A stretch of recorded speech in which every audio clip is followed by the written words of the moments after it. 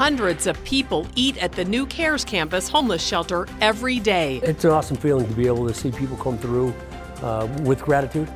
But not everyone is happy with the quality. I think the food is sometimes it's okay, sometimes I, it's not. You know. They act like we don't matter. I'm Kim Burrows. I take a behind the scenes look at feeding Reno's homeless Monday at 3 on News 4.